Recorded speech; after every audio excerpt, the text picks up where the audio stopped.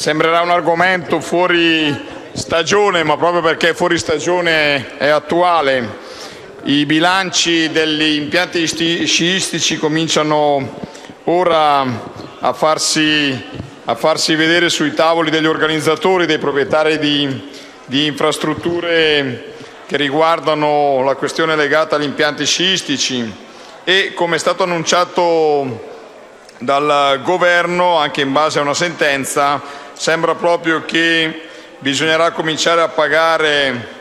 la questione legata all'IMU sugli impianti sciistici. Il problema, il problema fondamentale, signor Presidente, è che sono in, in, Lombardia ci sono 48 esercenti di questi impianti che sono in grandissime difficoltà e quindi questa tassa metterà in condizione probabilmente alcuni di questi impianti di non avere più la capacità di essere produttivi e quindi di rimanere aperti. Su questi impianti tra eh,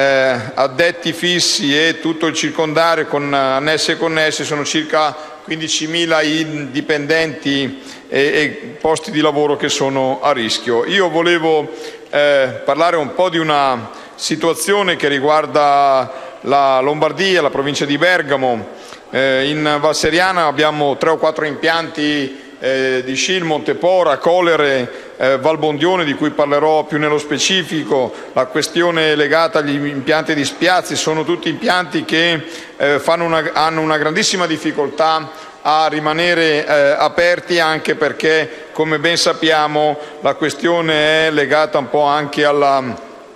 al fatto della presenza di neve e quindi all'imprevedibilità delle condizioni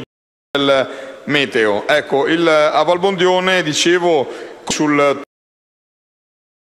turismo. Nel corso del 2014, a fronte della disastrosa situazione causata dal fallimento della società di gestione degli impianti sciistici che ha portato alla chiusura dell'attività, con il supporto dell'amministrazione comunale, la comunità della frazione di Lizzola ha investito risorse economiche e umane per cercare di far ripartire il settore. Con grandi sacrifici si è riusciti a costruire una cooperativa sociale Onlus e a far ripartire l'attività per la stagione 2014-2015.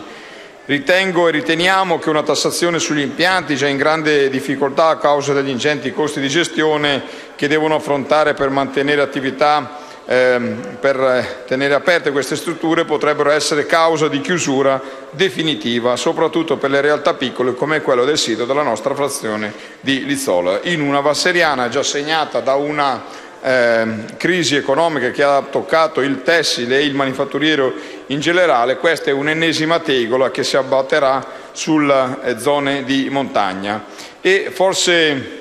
più che le zone di montagna saranno ancora una volta il comparto turistico, quello che dovrebbe essere il fiore all'occhiello di questo Paese ad essere penalizzato. E una